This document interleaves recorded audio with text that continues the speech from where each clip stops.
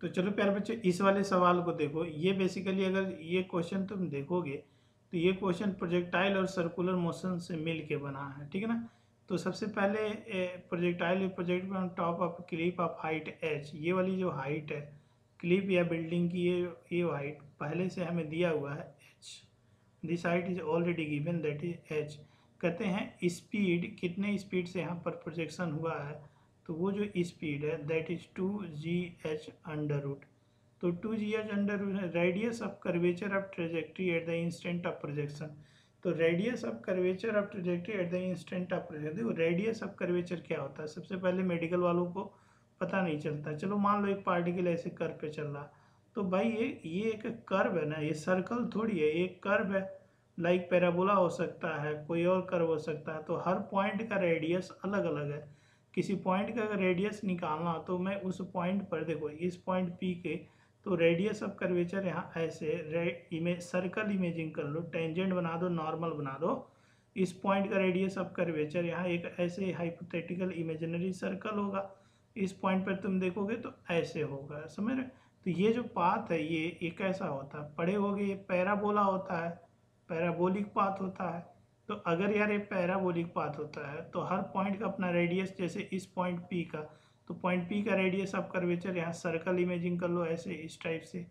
तो ये वाली चीज़ तो ये जो सर्कल का रेडियस है, ये वाली रेडियस पूछा जा रहा है, ठीक है?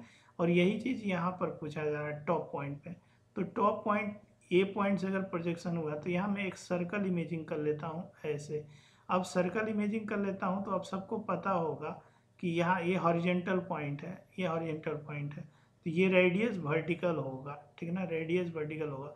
और सबको पता है सर्कल में चलने के लिए, इस पॉइंट पे सर्कल में चलने के लिए जो सबसे बड़ी चीज़ है बच्चों, वो है सेंट्रीपिटल फोर्स तो यहाँ पे सेंटर की तरफ़ कोई तो नेट फोर्स आना चाहिए तो यहाँ इस पॉइंट पर जो सेंटर की तरफ़ नेट फोर्स वो एम जी आ रहा है।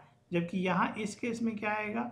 एम जी का एक कॉम्पोनेंट आएगा। ए एम जी है तो अगर मान लो एंगल थीटा है तो एम का एक कॉम्पोनेंट सेंटर की तरफ़ आएगा, जिसका नाम होगा एम जी कॉस थीटा और एक पैराबोलिक पाथ के टेंजेंट में जाएगा। समझ में आया? इससे हम रेडियस ऑफ़ कर्वेचर निकालना सीखेंगे किसी भी पॉइंट पे। हर पॉइंट का रेडियस ऑफ़ कर्वेचर अलग अलग होता है। तो अब सिंपल सी बात है, जब एक फोर्स सेंटर की तरफ़ आ गया तो वही सेंटीपीटल फोर्स देगा, जो कि हमें चाहिए सर्कुलर मोशन करने के लिए।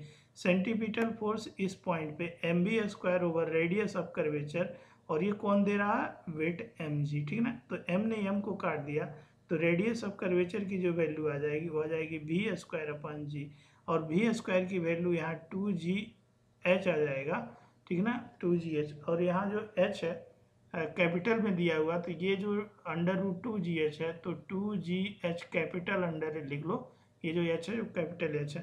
तो कैपिटल एच डिवाइडेड, जी ने जी को ख़त्म कर दिया तो टू एच यहाँ रेडियस ऑफ़ कर्वेचर होगा, दैट इज़ बी ऑप्शन अपना सही है। ठीक है ना? इन्फिनिटी रेडियस ऑफ़ कर्वेचर तब होगा जब सीधी लाइन होगी हॉरिजेंटल होगी। ठीक है ना? ये पैराबोला का एक पाथ है।